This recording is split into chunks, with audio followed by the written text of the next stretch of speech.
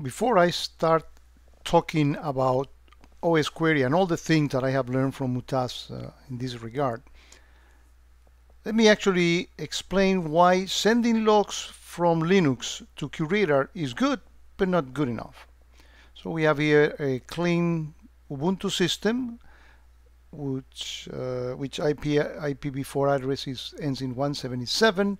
The QRadar is uh, NC.10, and I have a filter here waiting for logs coming from it. And in order to send logs, all we need to do is modify a file, and uh, we need super user for that.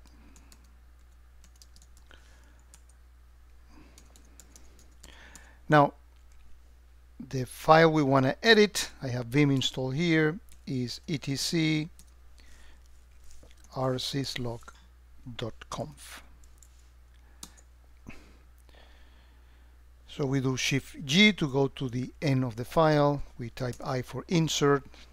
We go to the end of the line, hit enter, and basically we say, and we did this in another video, send everything to this address 172.16.60.10 on port standard syslog port which is 514 escape WQ to write this out and now we need to re restart this uh, this uh, remote syslog so we do system control restart our sys lock. And as you see, after I did that, in the background we can see that we began to get events into QRadar. Uh, there are just too few of them. We need at least 25 by default. And let me see, I'm lazy. Instead of defining, I can actually go into the event and look at the identifier and define the actual log manually. But let's see if if I can get auto discover to work for me. So I send a bunch of them and yep that worked. Now I got uh, that log source automatically added for me. So let's actually clear this and go to that machine and see the standard way of Linux working. If we add a new user to the system, add user, let's call it Mike.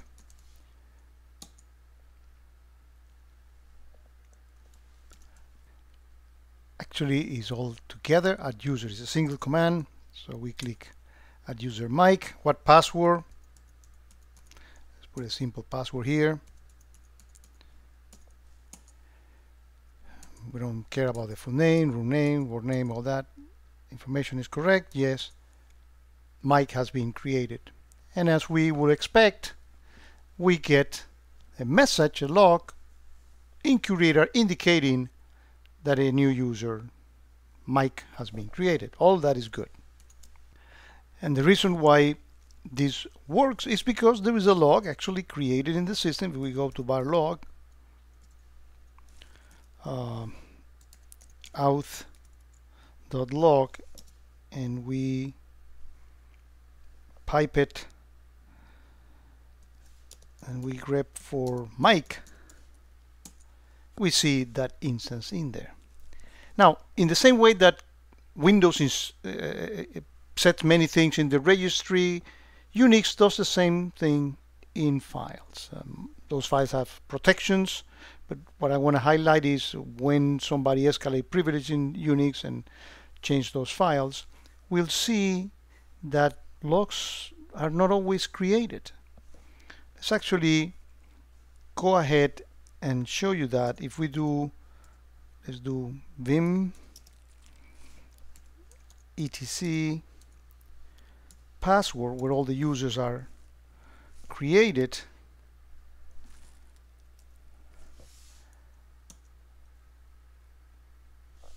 we do again shift G to go to the bottom we see Mike we, we added Mike in here.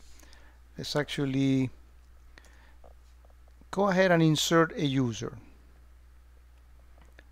So let's say that we take this line and we're going to copy it.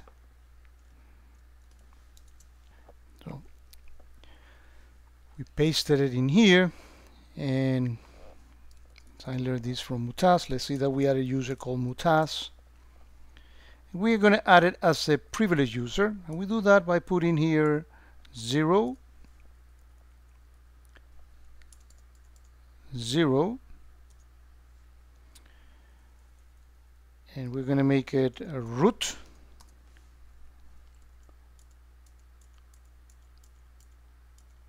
Like that. Escape. Write Q. And mutaz has been added as a privileged user. Do we expect to get a new log in QRadar for that? No. As you see these are the previous logs that we got with Mike there's no Mutaz being added here sure enough there's one defined in the system because we bypass a mechanism. In fact, if we do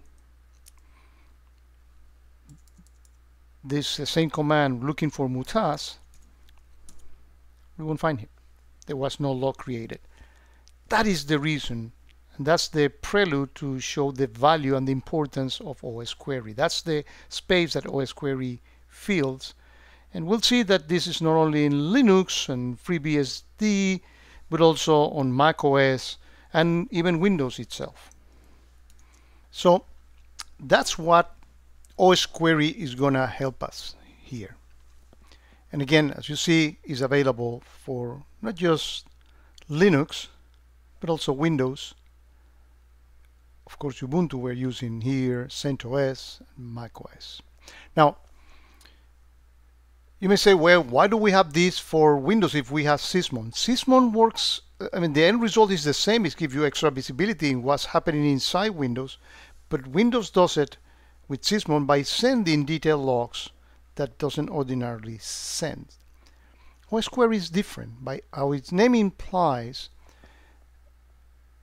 it perform it allows you to perform some queries to see what's in those operating systems and it does it in a smart way because it, it, it is not going to send you the same data again. It has the capability of sending you the delta.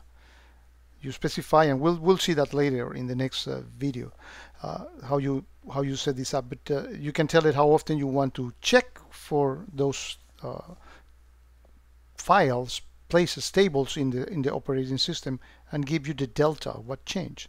And based on that, we can actually detect those things happening. It's actually, this video is getting a little too long for being an introductory one, but I want to show you the breadth of uh, OS Query. There are 236 tables currently, and this is an open source project. Uh, that, you know, you can expect that most things will be actually added. And these are all the things that you can actually query on all those systems about what is actually happening. So in the case that what we were actually the way that we bypass the security of the system by adding Mutaz as a privileged user, uh, you have a table here that is precisely called user. And this is one of the things that with OS Query we can actually check periodically on that Ubuntu system. And when we detect that a new user, Mutaz, has been added, get all the attributes so we can actually trigger the right rules, the right offenses in QRadar, have the rules that trigger on the, on the right offenses. So this is the introductory video. We're going to be building on this concept of OS query in, in the next ones.